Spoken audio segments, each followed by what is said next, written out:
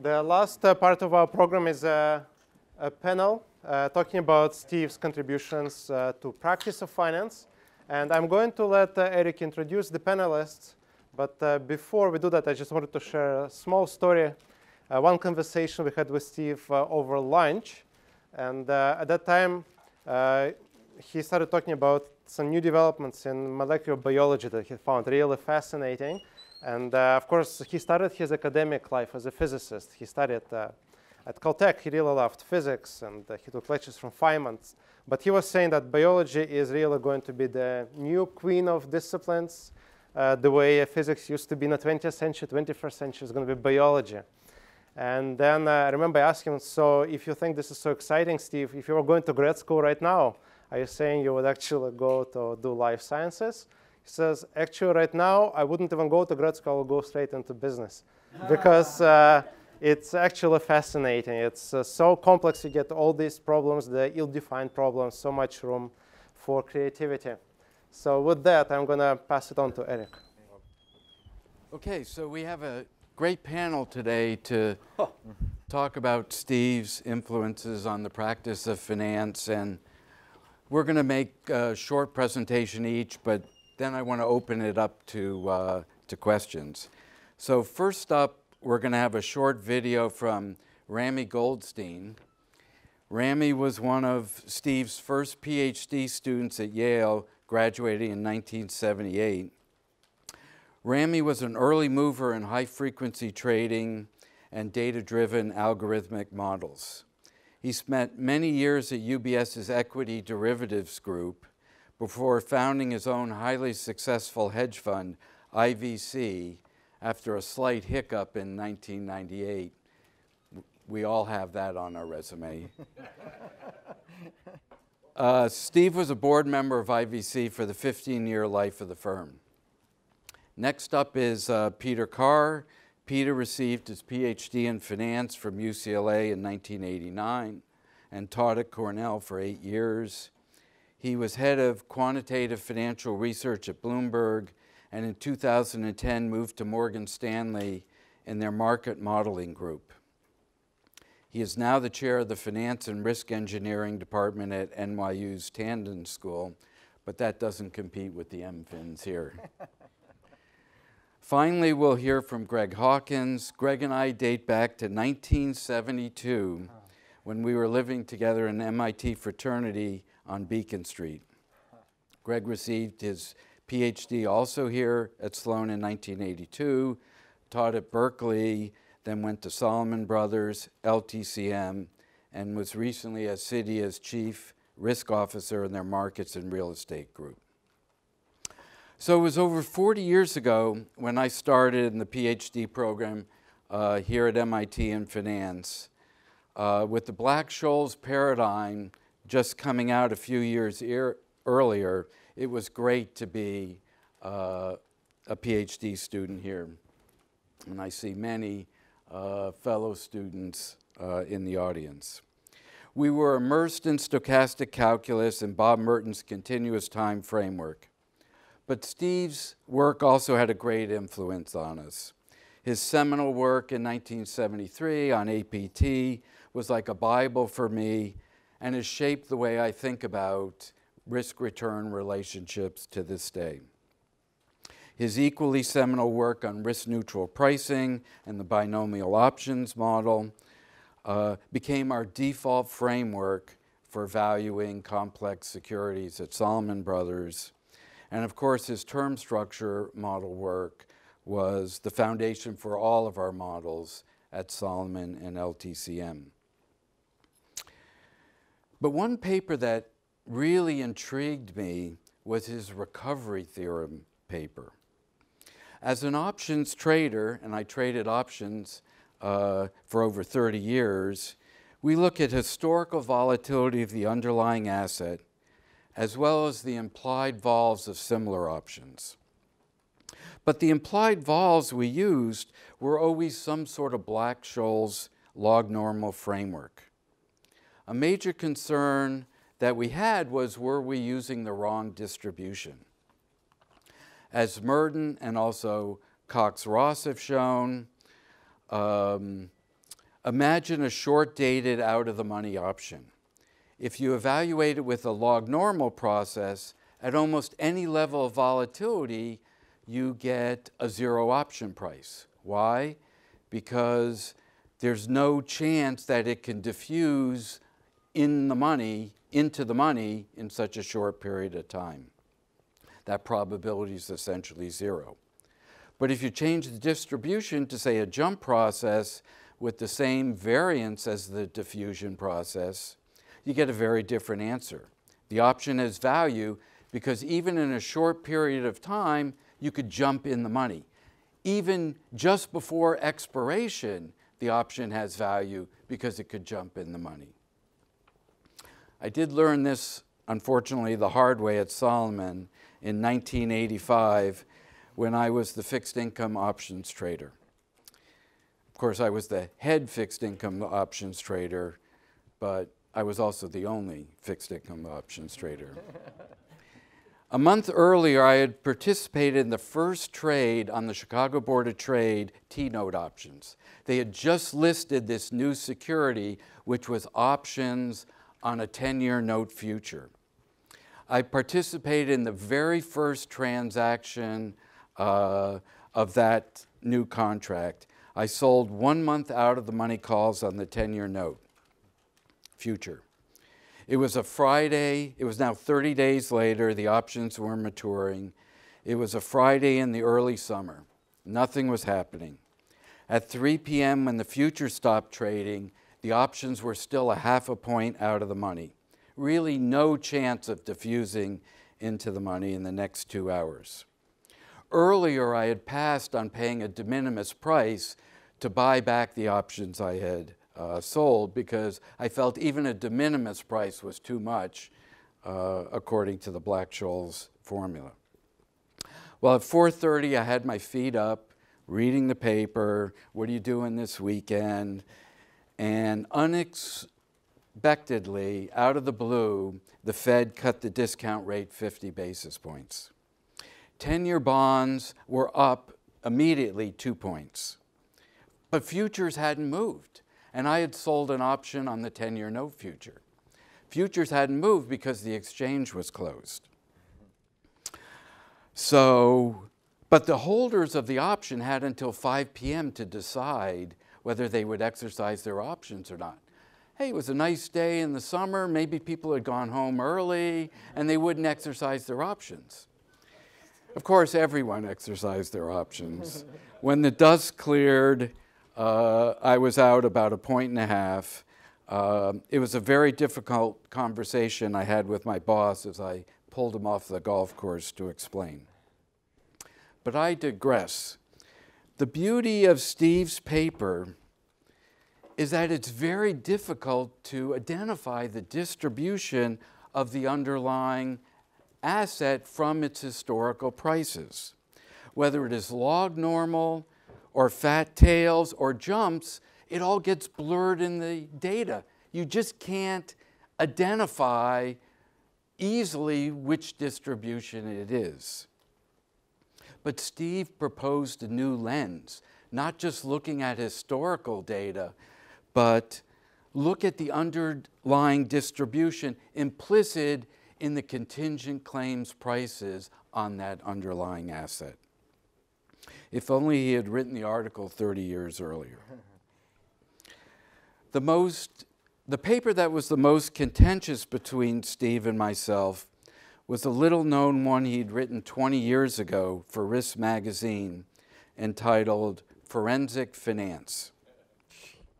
I love this paper. Yeah.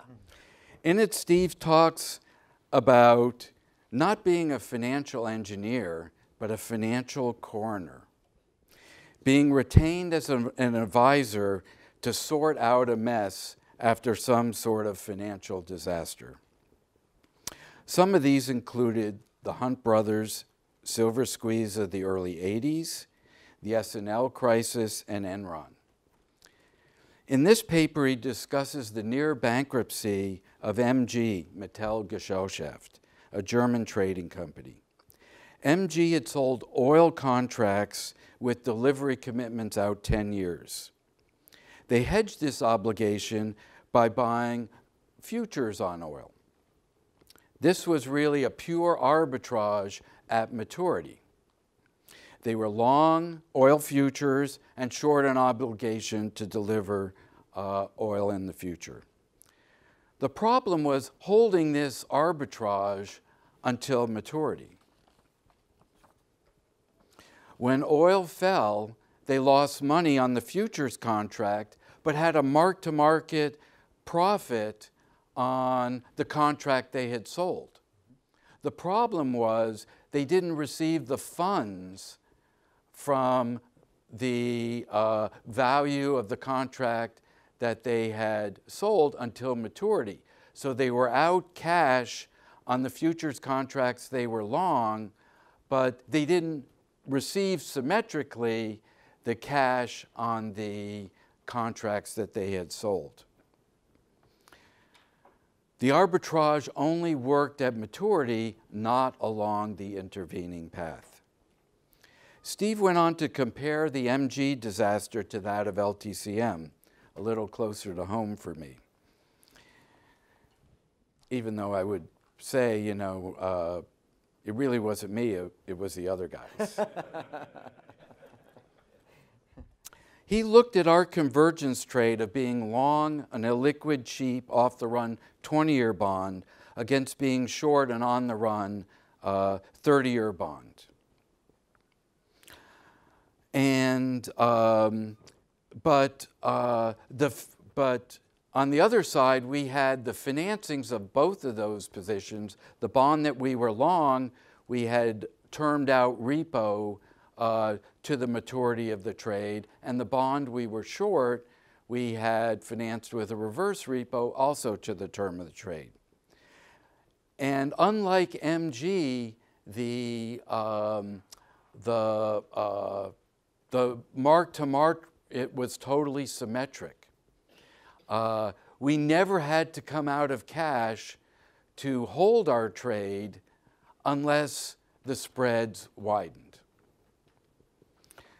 So I argue that this symmetric cash flow was very different than MG, and I pointed to the last day of LTCM. It happened to be Wednesday, September 23, 1998. We had a $125 billion balance sheet supported by 400 million of equity. Yes, a slight 312 to 1 leverage, but we didn't go under because we had to unwind our arbitrage trades. We went under because we ran out of NAV. But Steve pointed out to me that all of our strategies were built around models. As financial engineers, we use models not to blindly follow them, but to garner intuition about the financial strategy at hand. We understand the limitations of the models and in what region their predictions are suspect. Think of this out of the money short dated options. These models are beneficial, but they're not 100% perfect. Leverage, while not bad in its own right, accentuates the region where the models can fall apart. Perhaps if the partners had been a little more humble about the limitations of our model, the results would have been a little different. I never took a class from Steve. I was never a colleague of Steve. But for me, he was most generous with his time, his ideas, and his spirit, and I will miss him very much.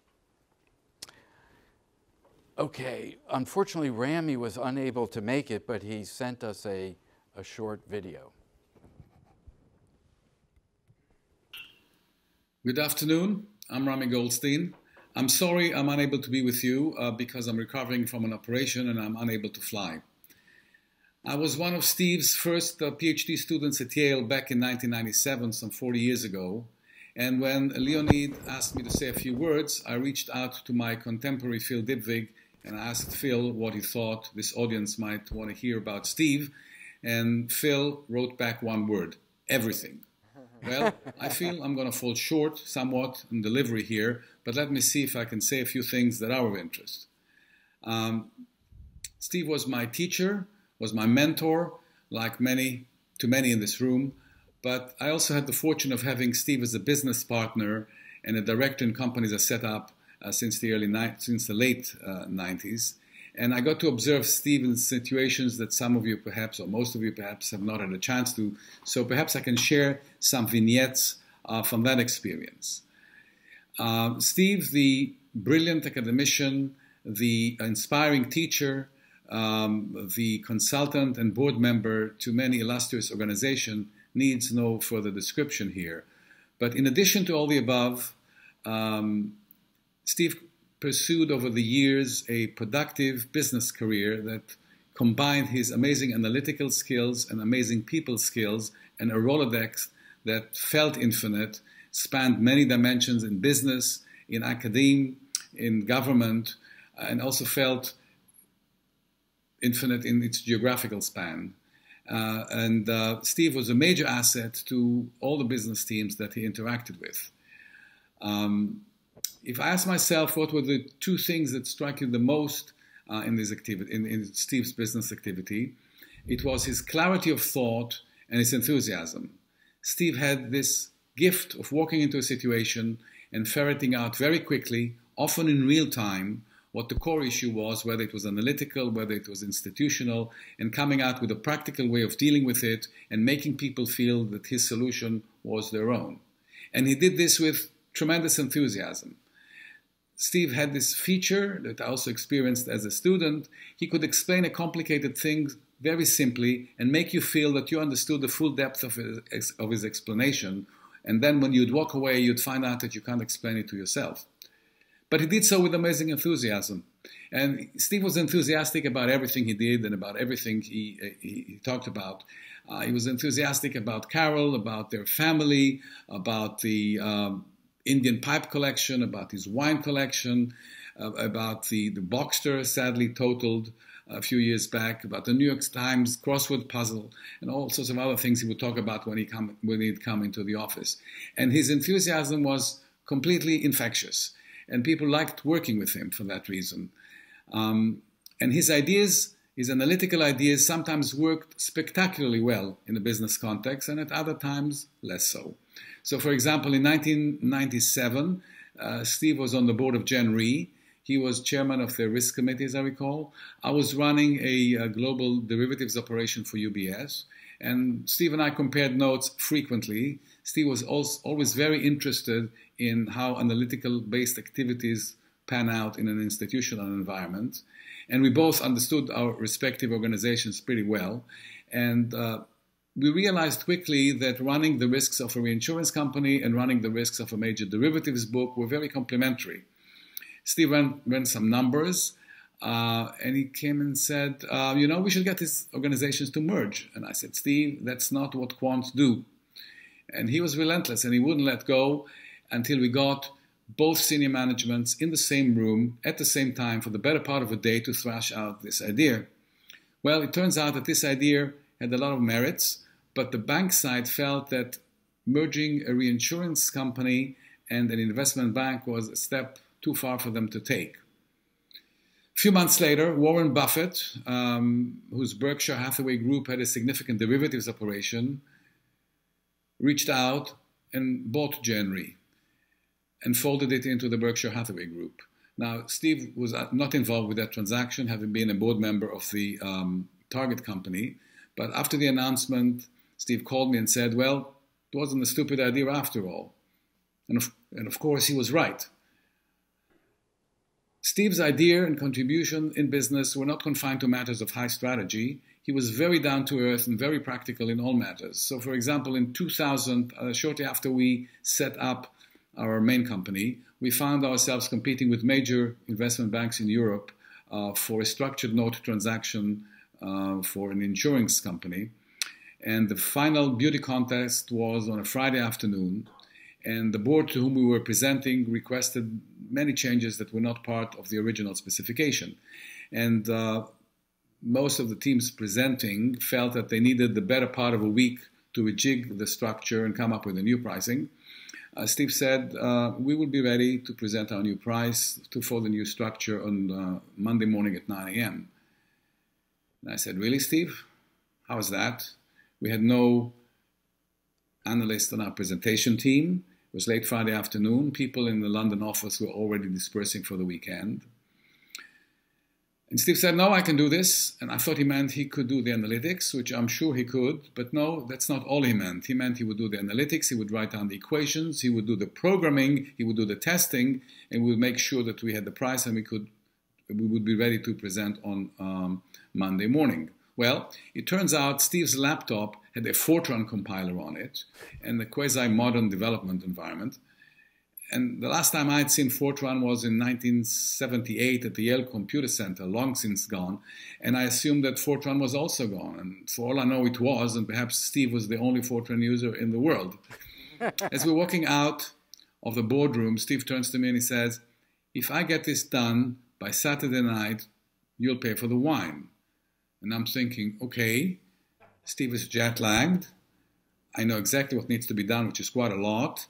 Uh, he's not an early riser on his foreign trips anyway, so that's a decent bet. So I say, done. Fast forward 24 hours later, I find myself paying for a very expensive bottle of 1982 Chateau Latour Pauillac, which goes to demonstrate yet again that doing the rational analysis doesn't always lead you to place the right bet. In any event, come Monday morning, we're ready to uh, present, we present, and we win the mandate. Now, this was just wonderful episode to watch. Steve talking to a non-technical board about a technical matter, uh, understanding the requirements which were poorly specified, figuring out the analytics that go with it, writing down the equations, doing the programming, doing the testing, doing the presentation, and getting them to accept the solution in terms that they felt comfortable with. It's not a big story on a cosmic scale, right? Uh, but um, it doesn't get much better than that in, in, as far as these things go. And uh, sometimes a small story can tell a lot. And I believe this one does. I miss working with Steve. I miss him.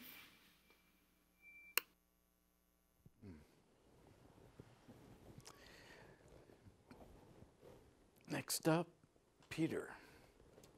Okay, um, so I um, I'd like to uh, go through just this one slide and also share a few personal experiences I had with Steve. So um, I just wanted to, we were supposed to talk about his contributions to industry. So my background is I spent 20 years in the financial industry, mostly at Morgan Stanley, but also at Bloomberg and Bank of America. And um, I I, uh, the first paper I actually ever understood uh, when I was at UCLA as a doctoral student was actually one of Steve Ross's. And um, it was uh, his signaling paper uh, where he was using debt. And uh, extremely well written paper. I think that, I mean, one of the things I noted is, is his writing skills were just amazing to me. I mean, just, uh, he was a man of letters as well as math. And so it's something you can easily see in all of his papers. So, um, as has been mentioned today, he's founded several pillars of modern finance, such as agency theory, mutual fund separation, and arbitrage pricing theory. And of those three, the first two, I feel, explain why things are. And APT does that, but it also can answer many how questions, such as how to form a portfolio or how to price an option. So when I think of the APT, I don't specifically think of what Andy Lo presented, for example. To me, that's just a special case of the more general arbitrage pricing theory that Steve essentially contributed so greatly to. And um, so these how questions are extremely important to practitioners, okay? I mean, I think um, we like to understand why things are the way they are, but at the end of the day, uh, you typically have a fairly short horizon. You need to do certain things, and so just knowing how to do those things is incredibly important. And so, as Eric was saying, um, these answers Steve gave us were incredibly useful for, um, for, for thinking about problems.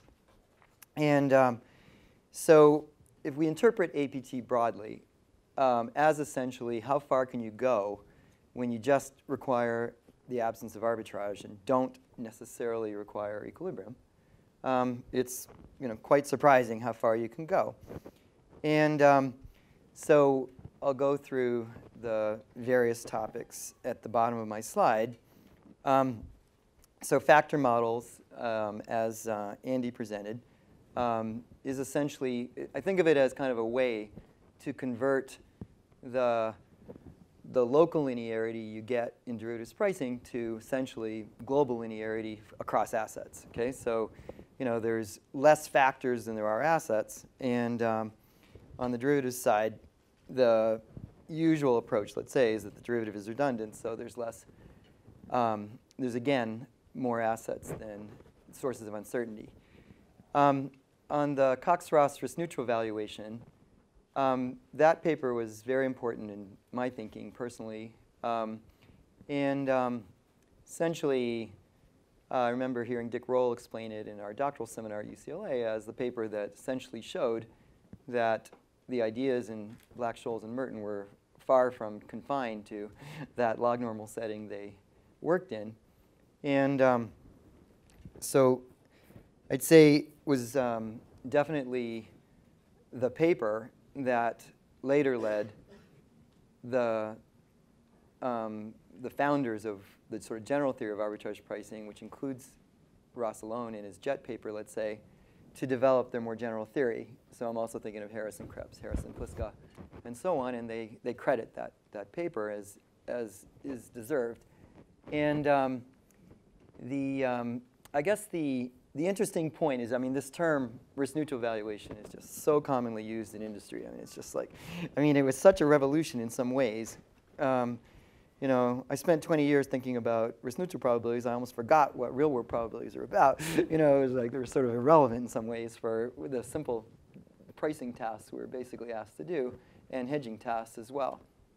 So, so um, I have to tell you that even when it comes to measuring risks, like things like value at risk, the reality on Wall Street, like it or not, is that people use risk neutral probabilities to calculate value at risk. Okay, and uh, so this gives you an idea of how pervasive it is. So the um, the fundamental theorems of asset pricing is a term that comes from Phil Dybvig, and um, I think is actually quite appropriate. So um, there's essentially three parts to it.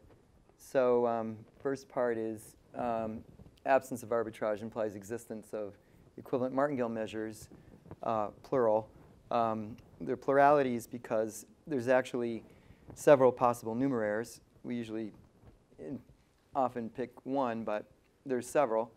And um, as well, when markets are incomplete, even after you pick a numeraire, there's, there's often an infinite number of associated martingale measures for that numeraire.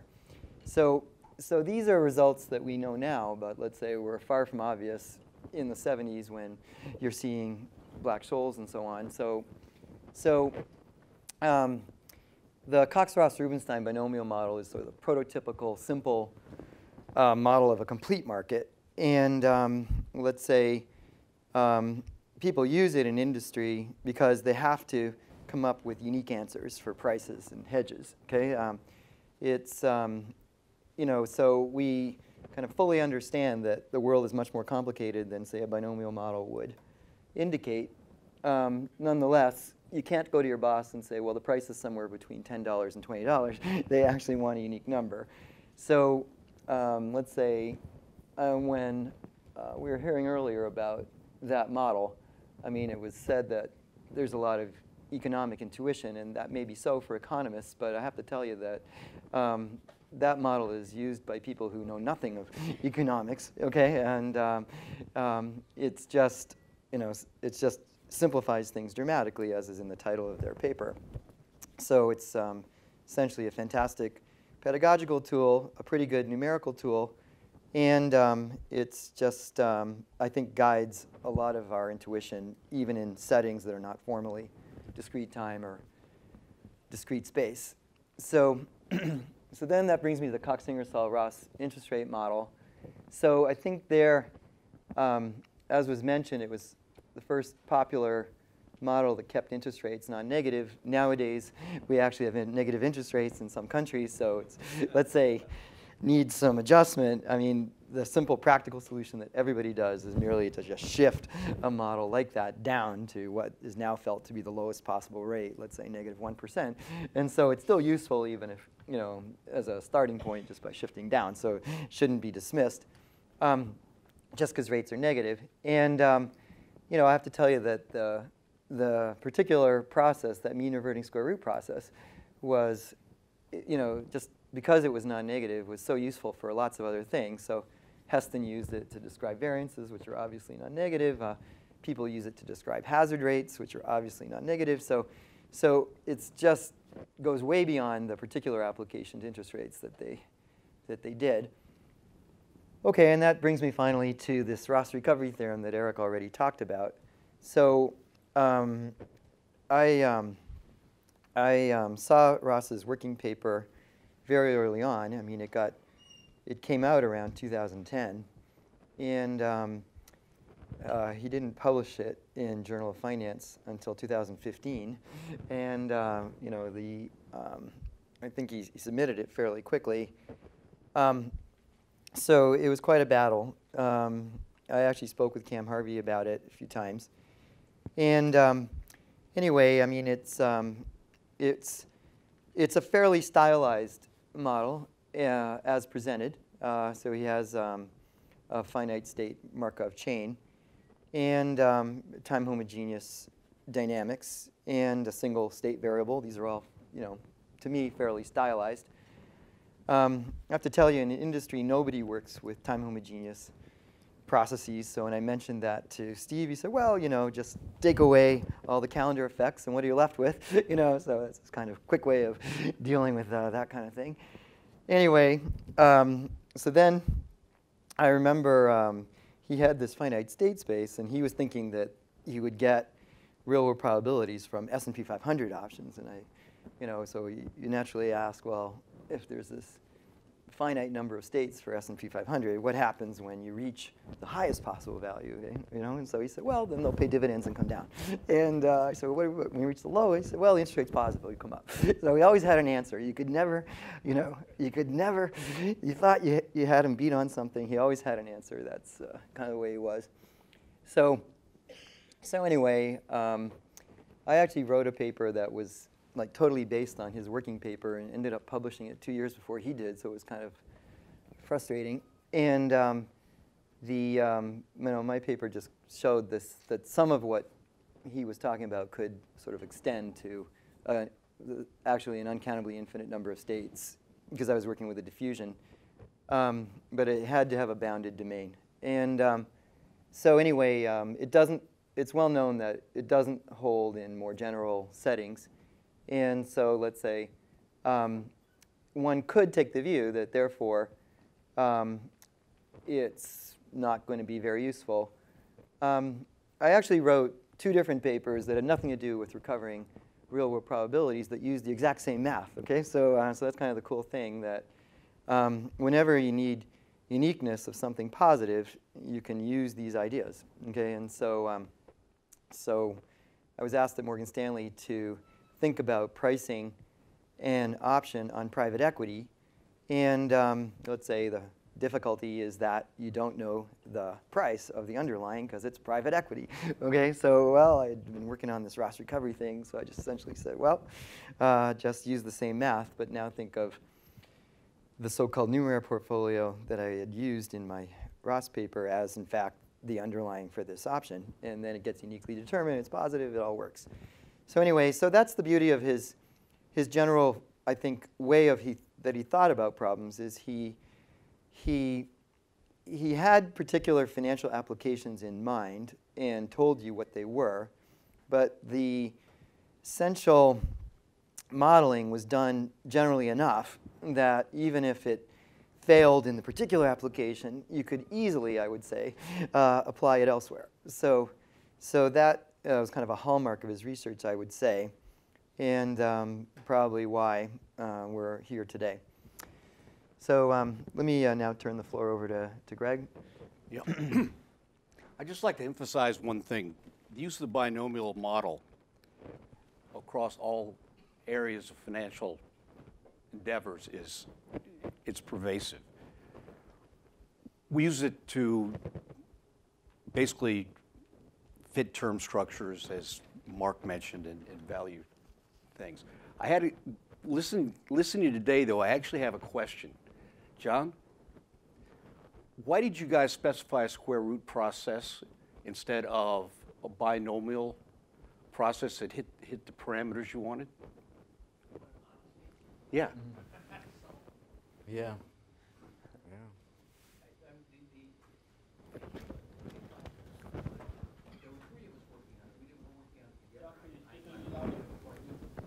I was working on it before I knew it, either John or Steve. Uh, I knew all of it. And uh, John and I solved it one way. We thought Feller could work. Yeah. He said, "We- Feller can solve this differential equation. So we ought to be able to solve the differential equation by superposition. Well, you had the integrated, uh, modified Bessel function, the first kind. Don't matter what. I just, it is or not. the first kind is always It's a- the it's a- hardest. it's a power series, so integrated term by term, and magically it reduces down to something easy. Steve went about it completely the opposite way. He said, what would give us an affine term structure? He says, if I have an affine term structure, it turns out you have to have drift and variance, which are affine.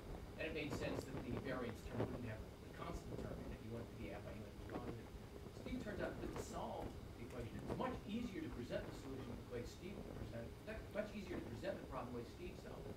But there's an integral, not the hard integral. The Riccati equation is easy to integrate. It's the second integral, which ought to be easy, it was impossible to do. Until John and I showed him, so this is the solution. Now I can show you how you, once, once I tell you what the solution is, you can verify it's the answer to the integral. Mm-hmm. But, and that's how it, that's how essentially came about. Why didn't we do a binomial? Trouble with binomial is it's not like, um, the option pricing. The option pricing, the, the discounting term times R doesn't matter because R is a constant in the, in the, in the term structure problem. It's not constant, and that's what makes it so hard. Hmm. Hmm. That's where you're making the big bucks. Actually, I wasn't here to talk about this question. I wanted to bring up a topic that hasn't been talked about much today, and that was Steve's interest in real estate. I don't know when it started, but it was clear he was very interested throughout his career in, in real estate. As far as I can tell, the written interest started when he was at Goldman Sachs, starting in 80, 1987.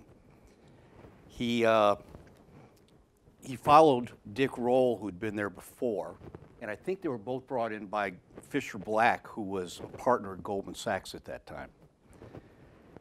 What was interesting is Dick Roll focused on the structuring side of the equation. He worked on CMOs. He actually got Goldman to issue the first IOPO deal. Now, it was, it was a flawed structure, but it got the market started. And Doug probably bought it. No. Well, it, it had an equity piece attached to it that, on the IO that didn't, didn't really work, I don't think. Steve took a completely different approach. They were both working in real estate and mortgages. He decided uh, to look at real estate as an asset class. He wrote three papers while he was at Goldman, uh, with others as usual. I mean, God knows he wrote, he was generous with his time and with his authorships. Uh, and he looked at diversification in the real estate market, both geographical and property type, and how you could form efficient frontiers with those. And then he took it a step further. Obviously, he was worried about the so called market portfolio and added real estate to stock and bonds. And it was, it was kind of difficult because we don't, in real estate, you don't have continuous auction type markets like you do in the others. So doing some of the estimates of risk and return are, are tricky. Uh, Goldman Sachs, I called them on Monday and said, Can you find these papers for me? Because I know you got them stored somewhere. They couldn't find them. But I don't think it matters. I was, I was actually interested in seeing them. Uh, it doesn't actually matter because he did a, a paper in the Journal Portfolio Management that I think probably included all the, all the information was in the Goldman papers. And he talks about these diversification effects and how use real estate as an efficient portfolio. The only other real paper he, he published on real estate, uh, he obviously didn't feel like he had good means and, and, and standard deviations for the real estate uh, asset. So he wrote a paper for the Journal of uh, Real Estate and Economics where he used some very nice techniques, very sophisticated obviously, to try to estimate means and, return, uh, and risk in real estate portfolios. And I'm guessing that paper is probably looked at by a lot of real estate professionals today. Uh, it was kind of interesting. Eric and I were Salomon Brothers at the time, and instead of working on uh, portfolio inclusion, we were working on valuation. Obviously, stuff that Steve done a little work on. Yeah. We were more interested in actually, though, substituting mortgages and real estate for other assets like fixed income or equities. Uh, more of a relative value approach than the one that, that he had taken at Goldman. Uh, but once again, Steve was working on the broader issue that a lot of us didn't feel like we could, could tame. Uh, I think Steve was not only interested in real estate as an investment class, but as an investment. uh, he joined, I remember he joined a group back in the late 80s trying to buy a thrift. That, that didn't work out. But they also tried to buy RTC assets. Uh, and I'm not sure exactly how successful that was or exactly what happened to it. Uh, he was also a member of the Freddie Mac board up until 2008, as far as I can tell. Uh, so he definitely had an interest in real estate in in a lot of different uh, frameworks.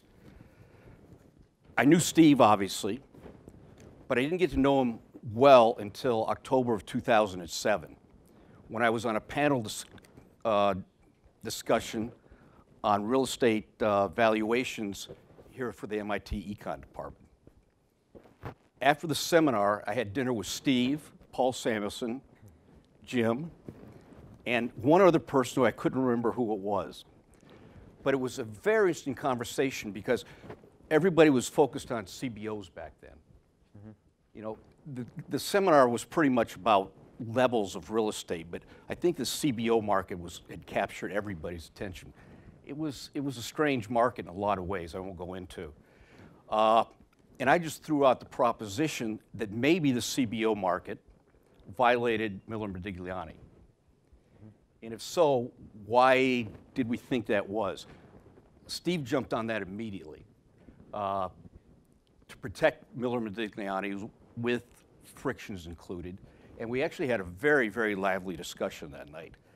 Uh, after dinner, Steve and I went off to have a glass of wine, which I, I guess he's done with a lot of people in this room, uh, and talk more about particular real estate investments. I mean, he, he obviously had spent a lot of time thinking about and maybe investing in specific products. And I'm not sure how he fit that into his investment portfolio view, but he was clearly interested in derivatives off of real estate and underlying real estate itself. Uh, I remember one other notable dinner. Steve came to uh, for an MIT Econ breakfast. We held it at the Citigroup uh, boardroom. And he was going to talk about recovery theory. Uh, the night before, he and I and a guy named Roy Henriksson, who was also a PhD student here, uh, had dinner together at where else Le Cirque, because I, I, was paying. uh, ooh, yeah. Ooh. Uh, what was interesting is Roy was wanting to talk about factor premia and portfolio arrangement and, and this, the standard stuff people like to ask Steve about. All Steve wanted to talk about was real estate. It was, uh, it, it, was eye-opening. I mean, he, he, I don't know, maybe it was just with me, but we had several conversations on the phone about what was going on in the real estate market, where the good investments might be. So it's, it's, some, it's a phase of his character that we don't talk, talk about in academia, but it was clearly something that was on his mind a lot. Anyway, that's, uh, I just wanted to throw real estate into the mix of things he'd, he'd also done some work on. Well, let's, uh, let's open it up to questions. All questions are fair game.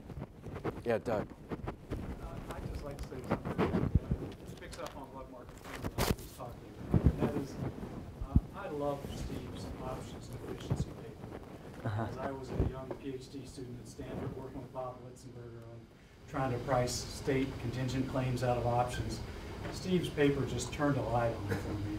Uh, and also Cox was on my dissertation committee. We read Cox, and Ingersoll, Ross. Sandy Grossman brought in things. I think he brought in the, the options and efficiency, but the spanning arguments in there are just beautiful. And I think it's, uh, uh, it's one of the most brilliant papers I've ever read. We couldn't have done our work without it.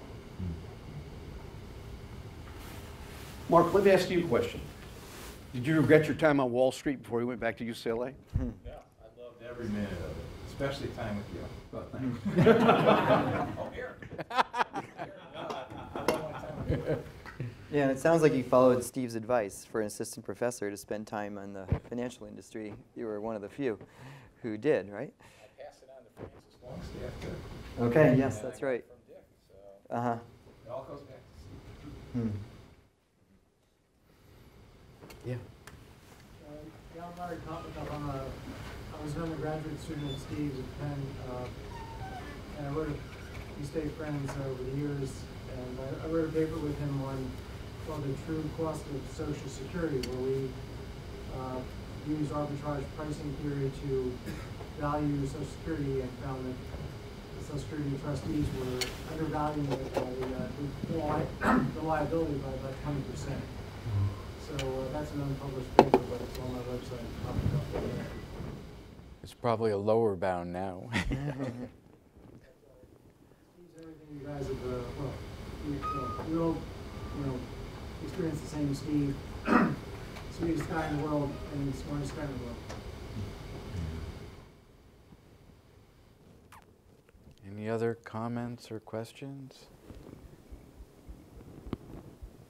I have a question actually. So um, I would get calls like about every six months from Steve, just randomly. Uh, did anyone else uh, experience that? You did too? yeah. So. Yeah, exactly. And then you spend ten minutes and then be gone. You know, and it was like, yeah. So and yeah. So the, he has that 203 area code, so it was the only one I knew. So I mean, I'd pick up the phone and say, "Hi, Steve, how you doing?" You know, it was like, just I don't know. It was a it was I don't actually know anybody else who would do that, and uh, anyway, it was just kind of fun. It's a little different because we used to show up in New Haven, on- on- you know, we still lived in New Haven, Uh-huh. house there. And he'd show up and call and say, John, we're getting lunch today. Didn't matter what I was doing. Right. I'm sure he did that with lots of other people too. Yeah, like I said, he'd invite you to dinner if you were paying. No, no, Steve paid pretty much what I was going out with. Steve, You'd go to a restaurant with Steve, and walk in, Steve would say, do you have any lobsters? And the guy'd say, yeah, we have some, well, well, we have one and a half pound lobsters. And he says, he says, we want four of them. There was only two of us there. so you had lobster with Steve. I mean, I like lobster, fortunately. Yeah, one of the one of the first dinners, I think maybe the first dinner I had with you at Yale, uh, was also when Paul Milgrom had come to Yale. There are five of us at dinner. There's a, there was a speaker. I was there. You were there at that one? I don't No, know. I don't know, I was at this, This, I this was one, there at this dinner where, where, uh, they had, well, we have very few lobsters right now, and, uh, anything we sell is triple the price. Steve said, okay, we'll take them all. so this, this, this one was a little, almost the same. This one was, uh, there are five of us. The speaker and, and John was there and Paul Milgrom and me and Steve. Yeah. And, and I think that was the first one because I think Steve didn't know that you didn't drink, and he didn't know that the speaker didn't drink. And, couldn't drink that much. and, uh, and so, And so he says, how many, how many lobsters do you have? And they go back in the back, and they come out and they say, we have, we have ten, they're just showing off. We have, we have ten pound and three quarter lobsters. And Steve says, we'll take them. and we had this big, massive dinner. And it probably much to Carol's chagrin, if she ever knew about it. One each broiled and one each stuffed and stuffed, uh. Yeah, one was, one was, one, one was, yeah, one was uh, steamed or boiled, and the other one was, Steamed, was, steamed and stuffed and broiled, I think they were, each had one each. yeah. And then the other one was, was, was stuffed with seafood, had a bunch of seafood on with, with, with the stuff. And then there was a pasta course and a salad course and a dessert course. Of course, that could have been a different dinner I'm remembering. Yeah, these things could be substitutable, and, and, and tons of wine, and, uh, and I guess, I guess, uh, uh, Paul Milgrom's wife found them downstairs playing ping pong at midnight or something, and singing. So, there, there are a lot of stories about Steve, but I think like this one, they're probably better for over drinks. Where are we headed, Leonid? Well, we are having, heading for drinks and uh, dinner uh, next door. So please join me in thanking all the presenters for a wonderful day of discussions.